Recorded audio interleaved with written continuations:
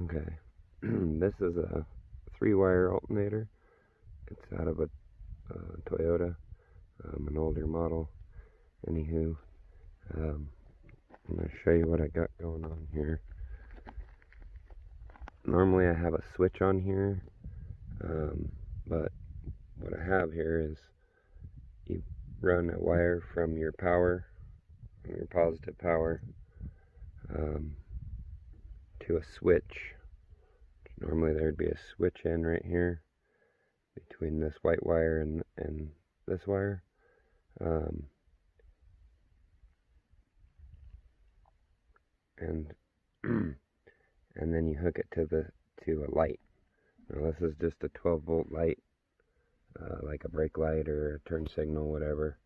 Um, anyway, I what what what what you're accomplishing is here is when the alternator's on. So if you switch your switch on, um, the light would turn on.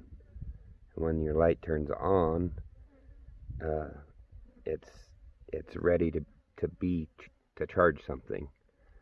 Whereas um, when you start to spin the alternator, the light will go off, which means it's charging at that point. So this yellow wire um, comes off, and that's the charge light. Uh, that shows you um, that it's charging.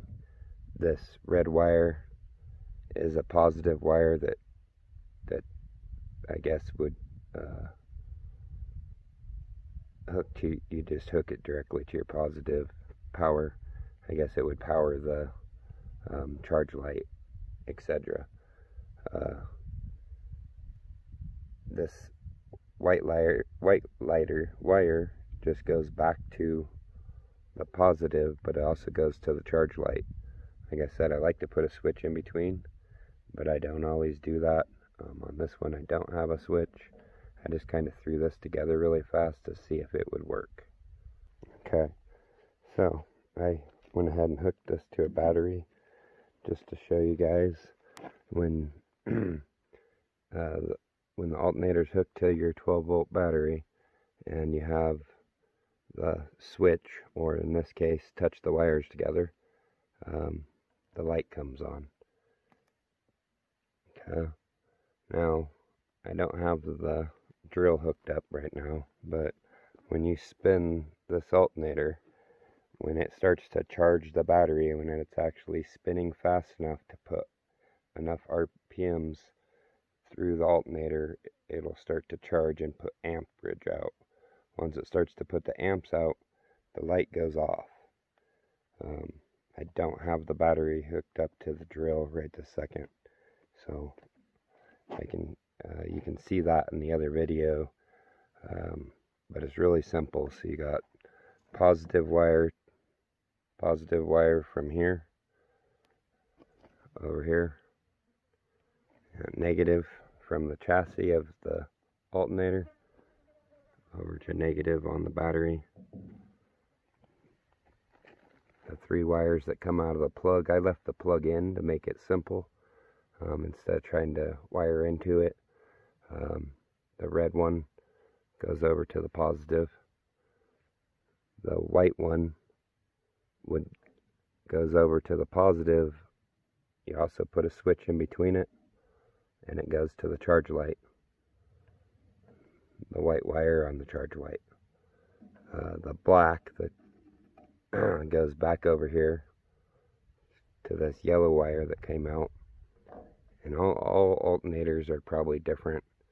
Um, this is just a Toyota one and how it worked. Uh, I kind of had to play with the wires and see which one was which and and hooked it up that way. Okay, so in the first video I didn't really show it much, but um, I tried all kinds of different little motors. I need a speed control so that I could hook up a couple different motors, and I think it I can make the alternator go fast enough. But the drill is the only thing I found that I could use and use it direct um, drive and spin the alternator quick enough to actually put out a charge. I know that it puts out a decent amount of amperage. Um, I'm not going to say that the drill isn't probably draining some of the power right back out of the batteries. I need to find something probably a little more energy efficient than a than a drill than an old 12 volt drill, but it works.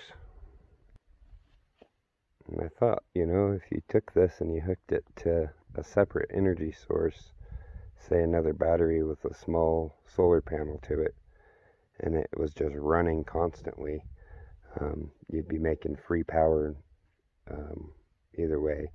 It, uh, you can hook it into your battery bank and set, turn around and charge your battery bank while you're using your battery bank to power the drill. Um, kind of trying to figure out free energy. It's just a simple idea concept. Um, I've tried a couple different things over the years. I'm going to have to go back through and redo some of them and put them on film too. So that's how you hook up an alternator um, to charge on its own without being in a car. Uh, it's really simple. Um, as soon as it starts to spin, all alternators are different, but once it starts to spin at a certain RPMs, it does produce amperage to charge ba batteries.